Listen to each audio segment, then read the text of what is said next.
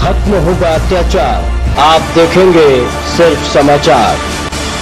बदलेगा खबरों का अंदाज बदलेगा खबरों का मिजाज बुलंद होगी जनता की आवाज़। आपका सरोकार असल मुद्दों की पुकार पत्रकारिता की धार। खेत खलियान महिलाओं का सम्मान देश के नौजवान जनता मांगे समाधान सड़क पर घमासान भ्रष्टाचार से परेशान गरीबी के निशान हमारे जवान देश किसान थाना पनवाड़ी क्षेत्र के अंतर्गत ग्राम सलैया खालसा में उस समय अफरा तफरी का माहौल बन गया। जब मूर्ति विसर्जन के दौरान सलैया खालसा गाँव निवासी प्रवेश पुत्र राम नारायण उम्र सत्रह वर्ष धसान नदी में गहरे पानी में डूबने से मौत हो गई।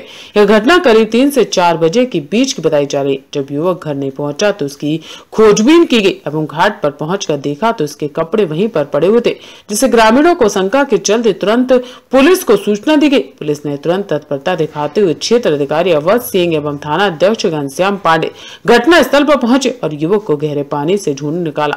आनंद फानन में तुरंत सीआईजी बनवाड़ी लाया गया जहाँ पर डॉक्टर ने उसे मृत घोषित कर दिया। वही युवक की मौत से परिवार में कोहराम मचा हुआ है। महोबा से संतोष कौशिक की खास रिपोर्ट।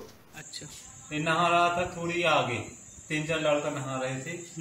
जब एक एक घंटा के बाद देखे इसके कपड़ा टंगे थे उते अच्छा। तो तो कही कि वो लड़का नहीं मिलो हुआ। तो खनी है खोजत रहे।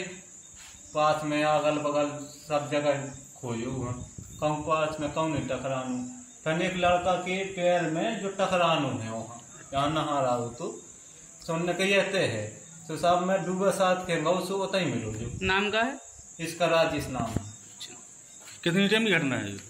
ये होगी वही दो ढाई तीन तीन के तीन के आसपास। होगी ये घटना। तीन के आसपास। मिला के बजे ये मिला है छह बजे। तो इसको आप ही लोग द्वारा निकाला हाँ हम ही ने निकाला है। तुम्हें निकाला। हाँ, बताओ गौ कि यहाँ नहा रहा था।